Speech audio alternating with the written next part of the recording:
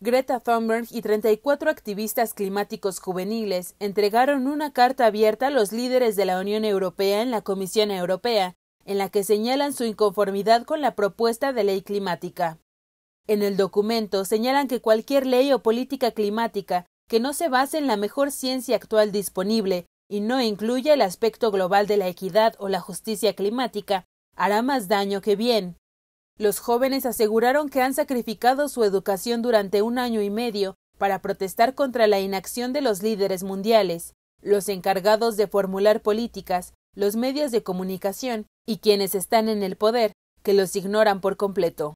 Las emisiones netas cero para 2050 para la Unión Europea equivale a rendición, significa darse por vencido. No necesitamos objetivos para 2030 o 2050, los necesitamos para 2020 y cada mes y años siguientes, sentenciaron los jóvenes activistas. Para cumplir con los compromisos del Acuerdo de París, aseguran que las emisiones de carbono deben llegar a su fin, y la ciencia indica que el proceso debe, drásticamente, comenzar hoy, o de lo contrario, dijeron, serán los jóvenes quienes tendrán que vivir con las consecuencias de esta crisis que no crearon. Y la advertencia final es clara, no les permitiremos rendirse en nuestro futuro. Hasta que tomen esto en serio, permaneceremos en las calles, repitiendo la ciencia. Hasta que lo tomes en serio, te diremos que vayas a tu casa, estudies los hechos y regreses cuando hayas hecho tu tarea. Finalizaron Greta Thunberg y los 34 jóvenes firmantes.